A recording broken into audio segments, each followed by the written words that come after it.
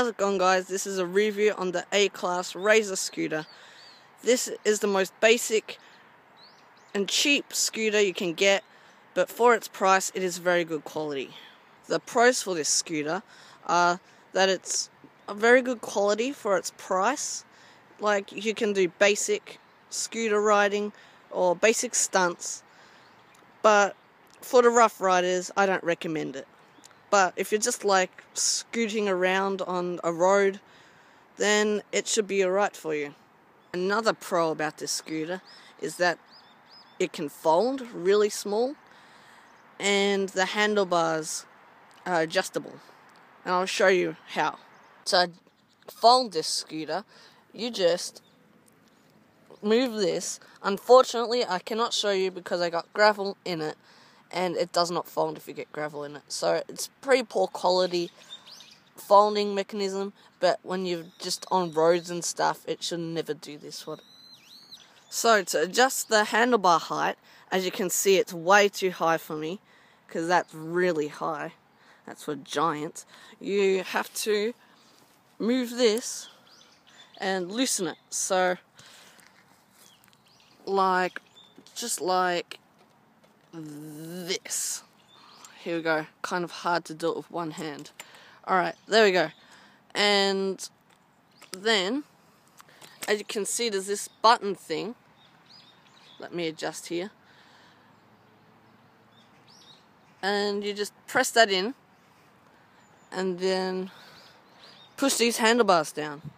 And it should be good. The cons about this scooter are a couple of things. So these are all from doing stunts. If you don't do any stunts, these will not happen to you unless you've got big hills, which eh, ruin your wheels. So I'll show you what I mean. This is from going down big hills, and the brakes heat up the uh, wheels when you use your brakes, and then it peels off the rubber, and it kind of ruins your wheels. And so if you haven't got any big hills, this won't happen to you. But this is what I mean. I'll show you right here.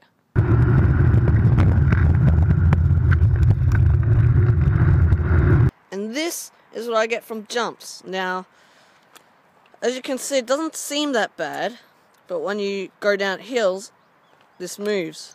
The I don't know if that's from doing jumps or just it just happens because of folding mechanism.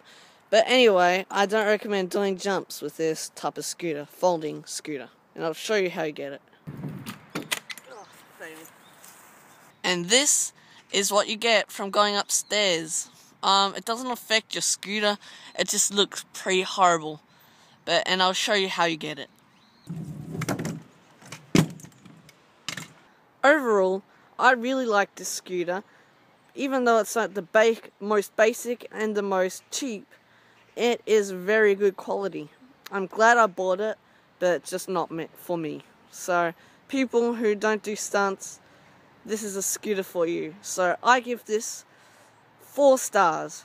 That's what I give this scooter for its price and its sta its uh, smoothness. Thanks for watching, and I'll see you guys in the next scooter review or whatever video is out.